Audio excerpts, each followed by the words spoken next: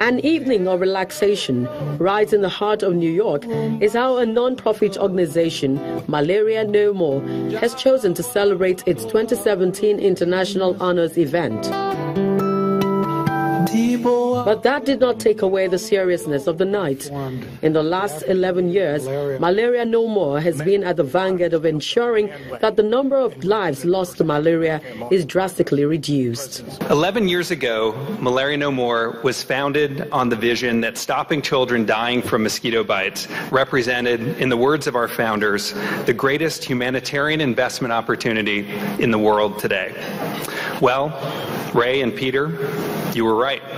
Today, 7 million people are alive and well that otherwise wouldn't be, thanks to the collective efforts of those of you in the room and our partners around the world. Give yourselves a hand.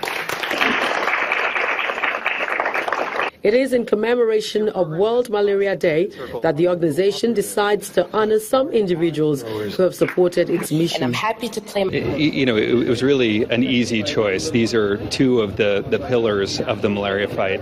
Um, Mr. Dangote has really stepped up his efforts in recent years. Uh, as you may be aware, he launched with the Nigerian government the Private Sector Health Alliance uh, in Nigeria.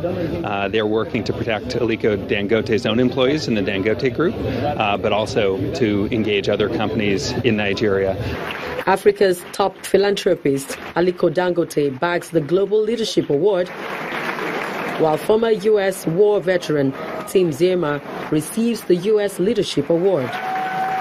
Alhaji Dangote's award is received by the CEO of the Dangote Foundation, Zouera Youssoufou.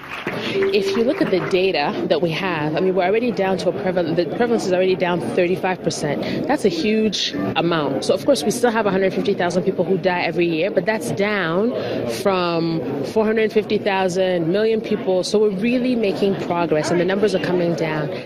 Although the journey to eradicating malaria completely is still on, Malaria No More is optimistic that with more support from well meaning individuals, winning the war against humanity's oldest and deadliest disease will be made a lot easier. Malaria No More.